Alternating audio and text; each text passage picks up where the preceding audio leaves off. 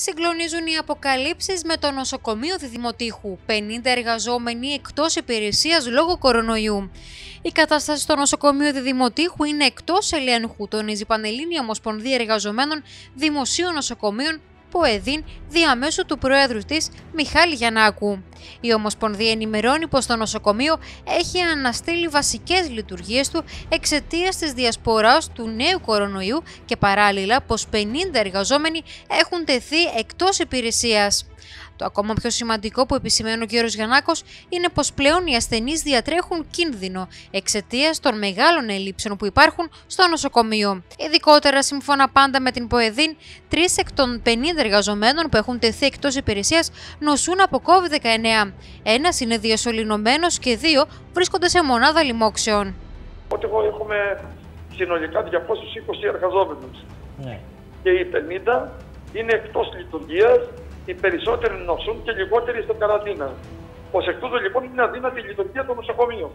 Και μάλιστα να πούμε και περαστικά, ναι. σε τρεις συναδέλφους, ένας γιατρός διασωληνωμένος στην ΜΕΤ του νοσοκομείου Αλεξανδρούπολης ναι. και δύο συνάδελφοι, άλλος ένας γιατρός και μία από το νοσηλευτικό προσωπικό, οι οποίοι είναι σε σοβαρή κατάσταση, αλλά όχι διασωληνωμένοι όμως, στη μονάδα αρνητικής κρίση στο νοσοκομείο Αλεξανδρούπολης. Εκεί λοιπόν υπήρξε μεγάλη διασπορά στη χειρουργική κλινική. 14 ασθενείς βρέθηκαν θετικοί. Μάλιστα, πολλοί από αυτούς είχαν πάρει και εξητήριο και διέσπεραν τον ιό ατελάτο στην κοινότητα. Και όλοι σχεδόν οι εργαζόμενοι της χειρουργική κλινικής. Εκτακτικά χειρουργία δεν γίνονται παρά μόνο πολύ σοβαρά έκτακτα. Ναι. Περιστατικά διεκομίσονται στην ε, Αλεξανδρούπολη και εδώ θα πρέπει να δούμε πώς γίνεται η διαχείριση, πώς θα προετοιμάσετε το νοσοκομείο για να αντιμετωπίσει περιστατικά κορονοϊού. Τεράστιες ελλείψεις, καθώς είναι γεγονός ότι ο ιός σιγόβραζε αρκετές ημέρες στο νοσοκομείο. Δυστυχώς δεν υπάρχει μοριακός αναλυτής, ενώ λαμβάνουν δείγματα για μοριακά τεστ Δευτέρα, Τετάρτη και Παρασκευή, τα οποία αποστέλουν για ανάλυση στο νοσοκομείο Αλεξανδρούπολης και αργούν ημέρες για να πάρουν τα αποτελέσματα. Η διεκπαιρέωση των ασθενών που εισάγονται γίνονται με rapid test, που όπως τονίζει ο κ. Γιαννάκος, είναι γνωστό ότι η αξιοπιστία τους δεν είναι 100%. Για παράδειγμα, Καβάλα υπάρχει μοριακό αναλυτής που εκδίδονται τα αποτελέσματα στο PCR σε μισή ώρα, σε μια ώρα. Εκεί στην, ε, στο διδημότικο ε, δεν υπάρχει μοριακός αναλυτής. Ε, λαμβάνονται δείγματα Δευτέρα, Τετάρτη και Παρασκευή και στέλνονται στο νοσοκομείο Αλεξανδρούπολη σε κάνουν μέρες να βγουν. Ω εκ τούτου λοιπόν οι περιστατικών είναι αδύνατοι, δύσκολοι και επικίνδυνοι.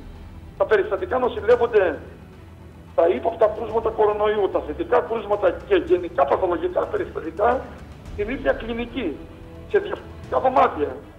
Αυτό είναι παγκόσμια πρωτοτυπία και πάρα πολύ επικίνδυνο για να υπάρξει διαφορά του ιού. Έτσι. Και υπάρχουν σημαντικές ελλείψεις προσωπικού σε πολλές ειδικότητες και νομίζουμε εμείς ότι εδώ θα πρέπει κάποια στιγμή και οι διοικήσεις των νοσοκομείων να αποδέχονται την πραγματικότητα και όχι να βγάζει μια ανακοίνωση το σωματείο να α, επισημαίνει την κατάσταση, να ζητάει λύσεις και να βγαίνει ο διοικητής και να λέει ότι όλα είναι καλά στο νοσοκομείο όταν έχουμε αυτή τη διασπορά και έτσι ξέρετε ότι δημιουργούμε μια στρεβλή εντύπωση και δεν αφήνουμε τον κόσμο να προσέχει. Και βέβαια εδώ η ευθύνη είναι της διοίκησης γιατί όταν κολλάνε σε ένα νοσοκομείο τόσο πολύ προσωπικό και 14 ασθενείς, σημαίνει ότι ο ιός υγόβραζε πάρα πολύ καιρό και δεν γινόταν και προσπαθούν με κάποια rapid test, με τα rapid test να διεκπεριώνουν τους ασθενείς. Ξέρουμε ότι όμως τα rapid test δεν είναι αξιόπιστα.